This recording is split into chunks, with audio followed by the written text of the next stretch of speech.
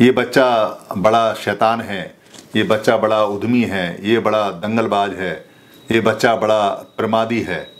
ये शब्द आपने सुने होंगे, अक्सर हम छोटे बच्चों के लिए या जो बच्चे बहुत ज़्यादा एक्टिव होते हैं, उनके लिए हम इस्तेमाल करते हैं, पॉजिटिव वे में करते हैं।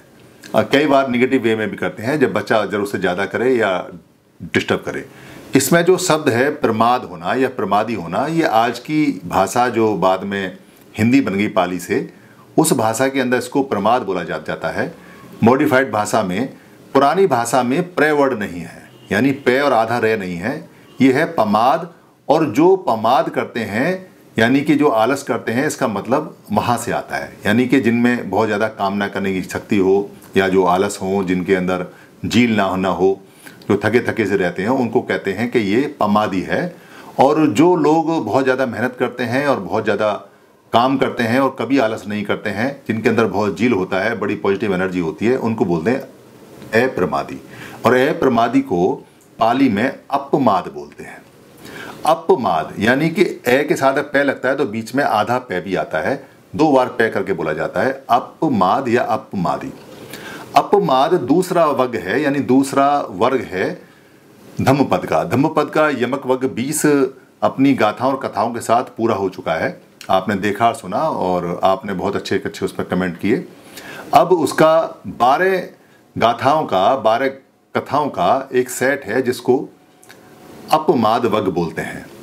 अपमाद का मतलब साधारण रूप से मैंने जो आजकल होता है वो आपको बताया, मगर उस समय या भगवान बुद्ध ने या भंगी बुद्ध ने या भागवान बुद्ध ने या भववान बुद्ध ने या भववतवान ने या भववंतु बुद्ध ने जो अपमाद का अर्थ बताया है, खास तौर से खुद के ज्ञान के लिए, यानी अपने उत्थान के लिए, वो बहुत सिंपल और बहुत साधारण सा है।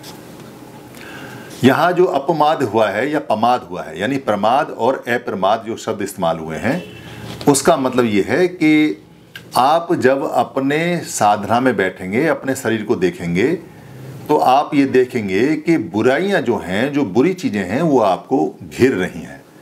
वो आपसे लिपटी हुई हैं।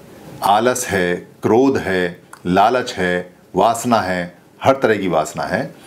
या बहुत ज़्यादा कोई चीज़ राग है या द्वेष है या मोह मूर्ता है, वो आपको पकड़ रही हैं और घेर रही हैं। आपको बिल्कुल भी प्रमाद में नहीं पड़ना। यानी कि जब वो घेरती हैं तो इसको उन्होंने प्रमाद बताया है कि ये प्रमाद में पड़ गया, राग, द्वेष, मोह में पड़ गया। और अगर आप इनसे दूर रह देते हैं, इनको पास नहीं आने देते हैं तो उसको उन्होंने अप्रमाद बताया है अपमाद यानी कि अब ये प्रमाद में नहीं है, इनसे दूर है। तो यहाँ जो लड़ाई है, प्रमाद की और अप्रमाद की, यानी कि अपमाद की और पमाद की, वो इतनी है कि आपको निगेटिव फोर्सेस ये सारी गंदी चीज़ चीज़ें जो जीवन को ख़राब करती हैं, शरीर को ख़राब करती हैं, परिवार को ख़राब करती हैं, मोहल्ले को ख़राब करती हैं, देश को ख़राब करती हैं, शहर को ख़राब करती हैं, वो आपको घेरेंगी और आपको आलस में लेके आएँगी, आपको इनको छोड़ते हुए इनको छोड़ना है और आपको अपमादी बन के इनसे लड़ना है और जीतना है।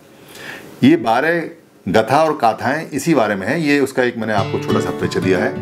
पहली कथा में, आप बहुत ही सिंपल है। धन्यवाद।